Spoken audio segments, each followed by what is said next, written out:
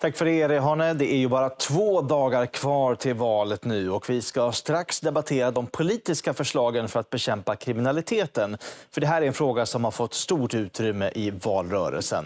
47 personer har dött i skjutningar hittills i år i Sverige. Det är redan fler döda i skjutningar det här året än på hela förra och då var 2021 året med flest skjutningar dittills. Och om vi pratar fler typer av brott, runt en femtedel av svenskarna uppger varje år att de har utsatts för det som kallas för brott mot enskild. Bland annat sånt som hot eller misshandel, men också olika former av bedrägerier. Det här då enligt Brås nationella trygghetsundersökningar. Det har sett ungefär likadant ut de senaste fem åren också. Enligt samma mätning så upplever 45 procent av befolkningen en oro i stor utsträckning för brottsligheten i samhället. Och, eh, I Sverige så klassar polisen 61 platser som utsatta områden, alltså platser där de kriminella, trots att de är få till antalet, har en stor inverkan på området. I de här områdena så menar polisen att det är större risk för våld på offentliga platser och därmed för utomstående att drabbas. Karin? God morgon säger jag till Jimmy Åkesson, partiledare för Sverigedemokraterna. God morgon också Märta Stenevi, språkrör för Miljöpartiet. Vi ska prata om vad Sverigedemokraterna respektive Miljöpartiet, eh, hur ni ser på det här, både på lite kortare sikt men också på längre sikt. Eh, vi börjar med, vi hörde ju här att det var 47 eh, dödsskjutningar bara hittills i år i Sverige. Märta Stenevi, om ni hamnar i regering eller samarbetar med en regering, vad vill ni göra direkt för att stoppa det här, här och nu? Här och nu så behöver vi framförallt fler områdespoliser. Därför att när vi har för få områdespoliser som kan bygga upp den tilliten mellan de boende i ett område och polisen så får vi också färre som vill vittna. Så att den, en kraftig förstärkning av områdespoliser och att de poliserna också får bättre verktyg att kunna klara upp brott och få stöd från resten av rättsväsendet för det. Det tror jag är helt avgörande för att man ska ha en tillit till myndigheten, en tillit till samhället och därmed också eh, få fler att vittna mot de här brotten som begås. Fler poliser och fler som vittnar. Eh, Jim Åkesson, är det här bra idéer eller vad skulle Sverigedemokraterna göra om ni fick inflytande? Ja, vi har ju drivit fler poliser sedan vi kom in i riksdagen för 12 år sedan. Eh, problemet är att de poliserna finns ju inte här och nu. Då har vi sagt att tills vidare så måste staten gå in och finansiera ordningsvakter åt kommunerna så att man kan ändå ha trygghetspersonal som patrullerar och som håller tryggheten och, och, och ordningen eh, i, i de här områdena. Eh, egentligen över hela landet, inte bara i de här väldigt utsatta områdena. Sen är det klart att vi, vi behöver se till att fylla polisutbildningen med de som ska bli poliser i framtiden. Då vill vi ha betald polisutbildning så att fler kan bli poliser också mitt i livet. Det vill säga att man inte ska behöva lämna hus och hem för att skola om sig, utan man ska kunna bli polis. Eh, ni pratar både om fler poliser, men samtidigt larmades ju så sent som i veckan om att de poliserna som faktiskt utbildas nu inte håller måttet. Eh, vad finns det för liksom, problem med att de här polisaspiranterna och eleverna inte håller måttet? Och kommer det gå att göra en sån utbyggnad av polisen som ni faktiskt föreslår? Ja, det är precis det jag menar med den betalda polisutbildningen. Att nu är det tyvärr är det så att det är, det är för få som söker till polisutbildning och de som söker de håller håller inte måttet. Eh, och det duger ju inte naturligtvis, utan vi behöver ju poliser som är lämpliga att vara poliser. Och då finns det de eh, som vill bli poliser, till exempel mitt i livet, men som inte bedömer att man har råd att bli det idag, därför att man kanske har hus, man har familj. Eh, och då behöver man en lön för att kunna utbilda sig till polis. Och vi menar att det är värt den satsningen. Därför att det, det är nog enda möjligheten att, att vi ska kunna bygga ut det här snabbt. Märta Stenevi, ni har ju suttit med eller samarbetat med de tre senaste regeringarna. Har ni gjort tillräckligt för att ge de här resurserna och bygga ut polisen?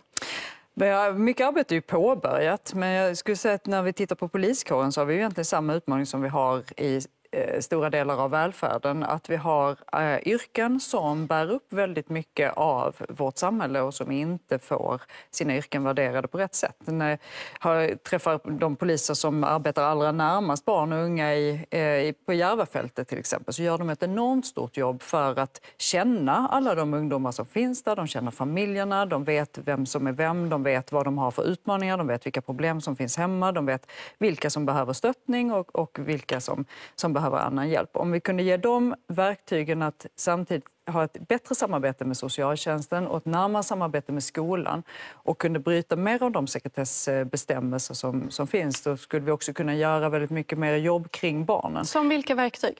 Men till exempel att kunna föra över information mellan socialtjänst och polis så att man verkligen kan bygga ett trygghetsnät kring barnen. För idag vittnar både socialtjänst, skola och polis om frustrationen kring att man i respektive organisation ser vilka barn som är på väg att hamna snett, vilka barn som är i riskzon, vilka barn som far illa hemma, men har inte möjlighet att dela den informationen med varandra på ett bra sätt. Och där sviker vi ju barnen som ramlar emellan och som sen då också blir enkla offer för gängen när de ska rekrytera in till sin brottsliga verksamhet.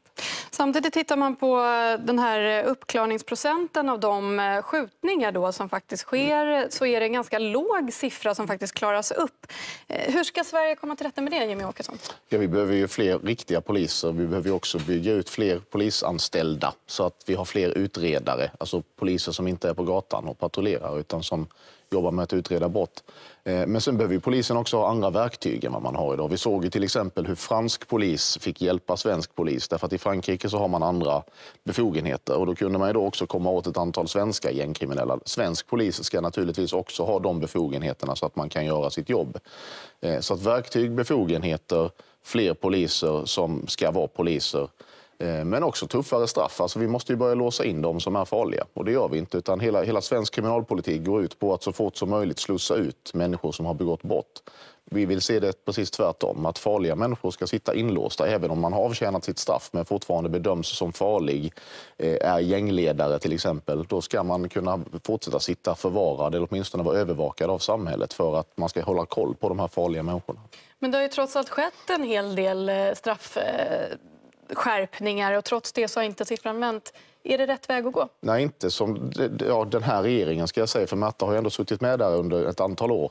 Eh, man har ju inte skärpt straffen på rätt sätt. Alltså det man behöver göra är ju dels att skärpa rätt straff och sen behöver man ju skärpa minimistraffen. Därför att domstolarna dömer nästan alltid i den, i den nedre delen av straffskalan. Och då spelar det ingen roll hur mycket man höjer straffen på, på överdelen utan det är minimistraffen som måste upp mm.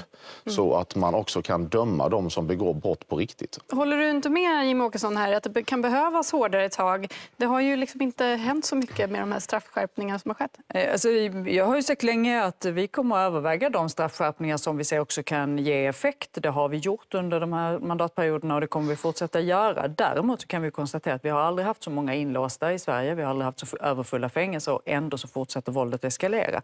Så att om vi bara stannar i den änden då kommer vi inte heller få bukt på problemet. Det är väldigt många av de debatter som bland annat jag, Jimmy och våra partiledarkollegor har stått i den senaste tiden så pratas det om danska straff. Problemet där är att man inte tittar på hela den forskning som ändå har bedrivits i Danmark där man är väldigt tydlig med att den stora skillnaden mot gängbrottsligheten i Danmark den har inte handlat om de längre straffen utan den har handlat om de tidiga eh, insatserna, förebyggande insatserna. En annan mycket intressant eh, del av den följeforskning som är gjord det är vad som hände när man eh, sänkte bidrag väldigt kraftigt för grupper och hur mycket det ökade utsattheten för kriminalitet. Så att vi har ju ett större samhällsproblem. att Om vi ska bryta med gängkriminaliteten, om vi ska bryta med det dödliga våldet på gatorna då måste vi också ta tag i det stora fattigdomsproblem som uppstår när vi har ett samhälle som slits sönder på det här sättet som mm. vi gör just nu. Om vi tittar just på det här med åtgärder då. Eh, nu har vi, vi sa här i inledningen, vi har 61 eh, utsatta områden i Sverige där ett fåtal kriminella har en ganska stor inverkan på samhället. Mm. Jimmy, ni Sverigedemokraterna ni har bland annat föreslagit att man ska lösa det här problemet genom att eventuellt riva områden. Varför då? Ja, vi pratar ju inte om att riva områden, vi pratar om att man måste se över de här eh, gamla... Ja, senast igår föreslog ett av era toppnamn att man skulle riva Jag ska komma till det. Det kan, det kan innebära att man behöver då riva och bygga nytt. Eh, och det, det, tror jag skulle... Det, alltså de här områdena är inte byggda för den här situationen. De här områdena är byggda, de är omoderna, de är ganska fula eh, utryckningspersonal bedömer att det är otryggt, det vill säga att man kan inte komma fram med, med utryckningsfordon och liknande. Det är klart att det, när den typen av problem finns där, då måste man ju ställa sig frågan, går det här att göra bättre, går det att renovera det här eller måste vi riva och bygga nytt? Det är det vi har föreslagit. Men, men det stora problemet, det är en del av problemet, det är boendemiljö naturligtvis. Ehm, men det stora problemet är ju att vi har segregerat och splittrat samhället. Vi har haft en extremt stor invandring, vi har inte ställt krav på människor. Då har man hamnat i det här parallella samhället. Man har byggt parallella samhällsstrukturer. Man är inte en del av majoritetssamhället utan man lever i en, en egen del av samhället. Och då, då blir det tyvärr så här att då tycker man inte om den svenska polisen. Man har inget förtroende för svenska myndigheter och då hamnar man i det här splittrade splittrad och segregerad. Vad har du för svar på det? Eh, Att det stämmer ju i en extremt liten utsträckning. Det är klart att det finns grupper som lever eh, utanför samhället och inte minst de kriminella gör ju det. Samtidigt så har vi ju hundratusentals människor i de här områdena som går till jobbet varje morgon, som ser till att vår välfärd fungerar, som försörjer sig, som sköter Men hur sin ska man skola. komma till bukt med de som inte gör det? Eh, Ja, inte genom att påstå att alla lever i parallellsamhällen i våra förorter att vi därför ska riva, riva områdena. Därför att det enda som händer då är att vi spär på den här, eh, det här misstänkliggörandet och det ständiga påhoppen. Och det, som är, det jag tänker ibland är att jag tror att eh, både Jimmy Åkesson, Ulf Kristersson och en del av de andra har gått på sin egen retorik när de pratar om parallellsamhällen. Att de tror att de här hundratusentals människorna inte hör vad som sägs om dem. För när man sen är ute och pratar med människor på plats så är det väldigt tydligt den sorg och den vrede som finns kring att man ständigt utmålas som gängkriminell eller som separatist eller som islamist eller vad det är nu man blir kallad.